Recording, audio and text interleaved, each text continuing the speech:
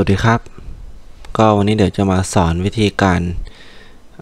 ทำตัวเชื่อมต่อนะครับ กับตัว MT5 เบื้องต้นนะครับ EP นี้ก็จะเป็น EP แรกนะครับที่เริ่มเชื่อมต่อกับ MT5 ก็จะเริ่มตั้งแต่ดาวน์โหลดขึ้นก่อนเลยนะครับ อันดับแรกนะครับ ก็จะพิมพ์ใน Google ว่านะครับ MT5 แบบนี้นะครับ เสร็จแล้วนะครับเลื่อนลงมานะครับ เลือกเป็นเว็บของ Amplify โดยตรงนะครับ ก็คือ MetaTrade นะครับ MetaTrader นะครับ กดเข้ามานะครับ ให้มันเป็นไอคอนแบบนี้นะครับอ่าเสร็จแล้วนะครับก็ดาวน์โหลดนะครับสำหรับ Windows นะของเราเป็น Windows ก็ลง Windows เมื่อดาวน์โหลดเสร็จแล้วนะครับก็ รอให้มันโหลดเสร็จ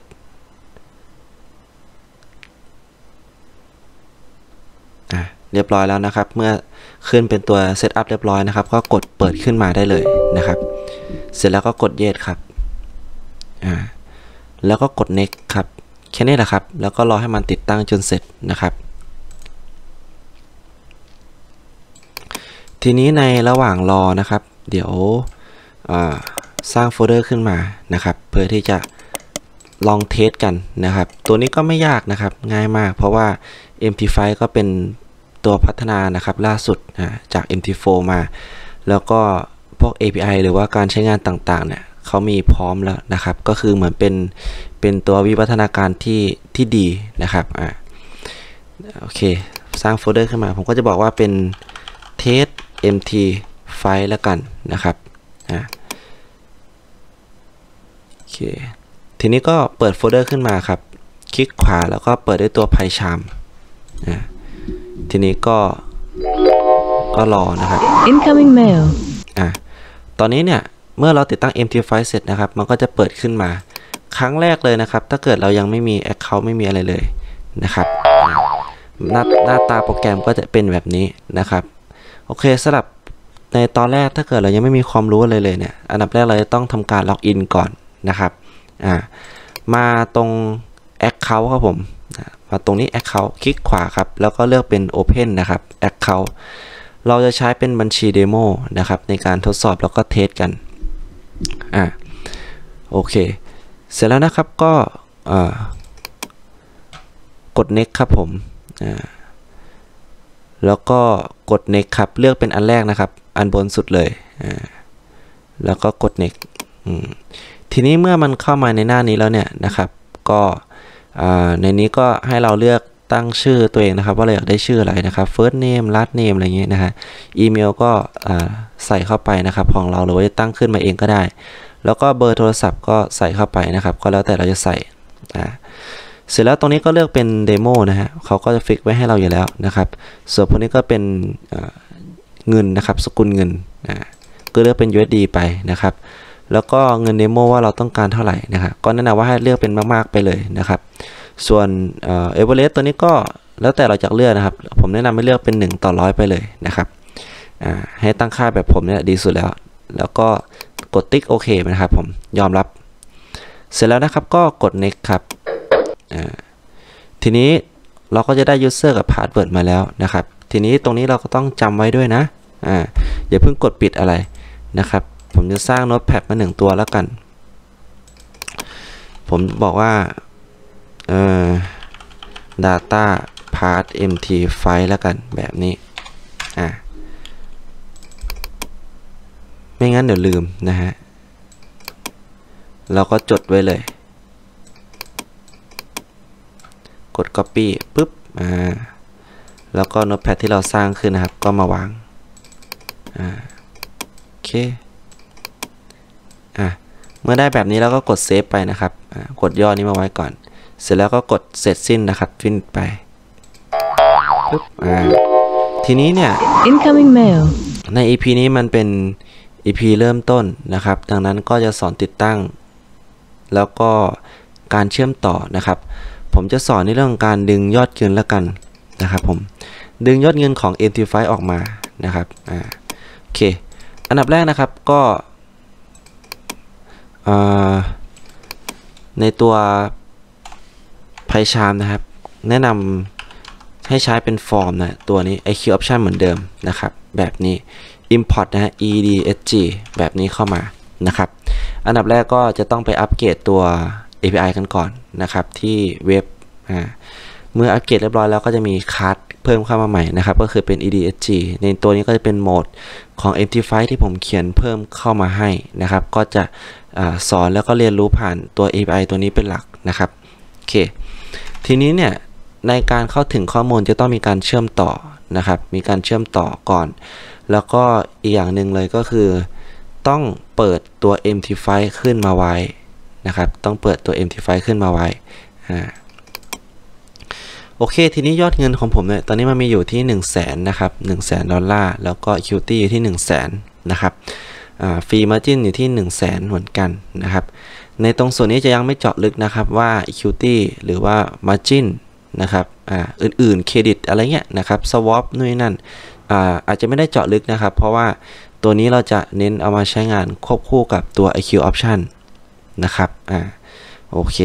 ในเรื่องของตลาด Forex ก็เดี๋ยวจะเจาะลึกในหัวข้อการเขียน EA ในระดับถัดๆไป ณตอนนี้ก็จะสอนเพื่อที่จะให้มา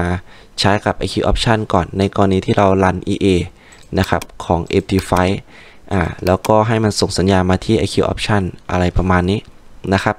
อันดับแรกเดี๋ยวเรามาเชื่อมต่อก็เบสิกเริ่มต้นแรก ๆ เลยนะครับ ก็เดี๋ยวจะสอนให้มันอ่านเงินอ่าน equity อ่าน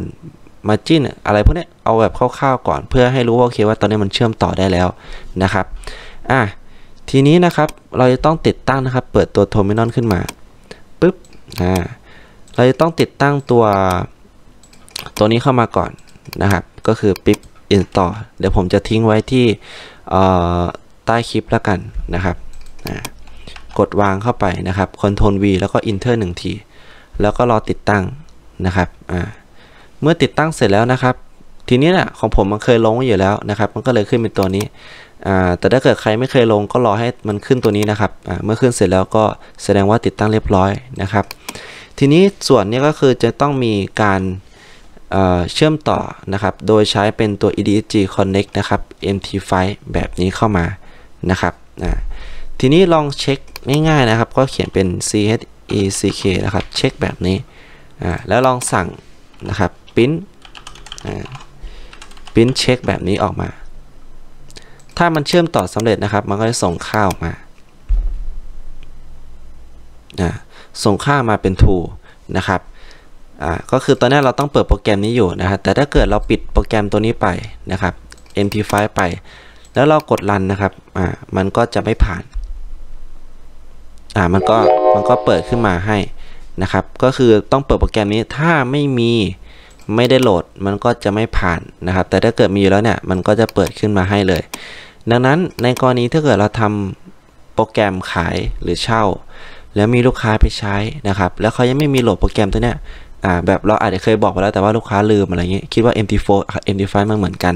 แล้วก็สามารถใช้ if ตัวนี้ได้นะครับ if ch check นะครับเท่ากับเท่ากับ true แบบนี้อ่าแล้วก็อะไรพิมพ์ตัวนี้ก็เป็นโอเคไปนะอ่าแต่ถ้าเกิด else นะครับ e l s e else อ่า ก็สั่งพิมพ์นะครับอ่าแล้วก็บอกเขาแบบอ่าโหลด MT5 อ่าประมาณนี้นะครับ แล้วก็ใช้คำสั่งให้มันหยุดการทำงานของ Python ไปเลยนะครับอ่าก็ให้เขียนประมาณนี้นะครับ เพื่อบอกเขาว่าโอเคให้ไปดาวน์โหลด MT5 นะ ก็เป็นข้อความที่เราอยากใส่อะไรก็จัดไปนะครับ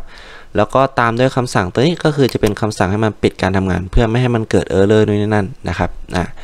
โอเค ทีนี้อันดับถัดมานะครับ ก็จะใช้เป็นเป็นยอดเงินแล้วกันผมจะสร้างตัวแปรขึ้นมา 1 ตัวชื่อว่า BA นะครับ เท่ากับนะ EDSG นะครับผม .EDSG นะครับ gen นะฮะบาลานตัวนี้นะครับ ทีนี้เมื่อเราสั่งพิมพ์ตัวนี้ออกมาเนี่ยนะครับ มันจะโชว์เป็นยอดเงินนะเป็นยอดเงินของแพลตฟอร์ม MT5 นะครับ เป็นตัวนี้ อันนี้ให้ลองเล่นนะครับ ยังไม่ได้เจาะลึกนะนะครับ ก็จะโชว์ยอดเงินออกมาอ่า แล้วก็ข้อมูลอื่นๆ ที่อยู่ด้านใน Account ของ MT5 นะครับ ก็สามารถแสดงได้ด้วยตัว EDSG Gen Data Account Info นะครับ ตัวนี้คือจะส่งออกมาหมดเลยนะครับ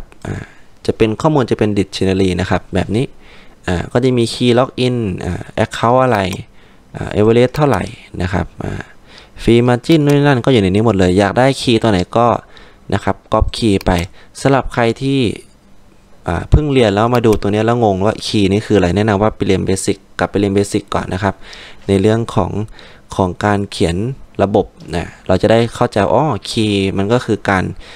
การกำหนดคีย์เพื่อเรียกใช้งานของอข้อมูลด้านในคีย์นั้นๆนะครับ เรียกว่า dictionary ก็จะได้เข้าใจได้ง่ายขึ้นนะครับโอเคในนี้ก็ ถ้ายกตัวอย่างนะ ก็สมมติว่าผมต้องการชื่อแล้วกัน ชื่อ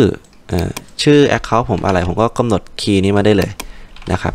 ใส่คีย์เข้าไปคีย์เนมเนี่ยเวลาปิ้นออกมามันก็จะส่งเนาะว่า Account ผมชื่ออะไรนะครับอย่างง่ายไม่ไม่ได้ยากนะครับแบบนี้อ่าโอเค ก็ ประมาณนี้นะครับในการเชื่อมต่อกับ MT5 ก็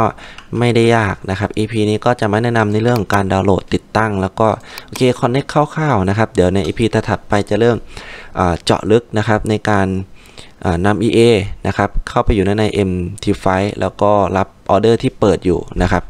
ว่ามีออเดอร์อันไหนที่มันเปิดอยู่ด้านในของ MT5 บ้างนะครับเพื่อที่จะส่งสัญญาณมาที่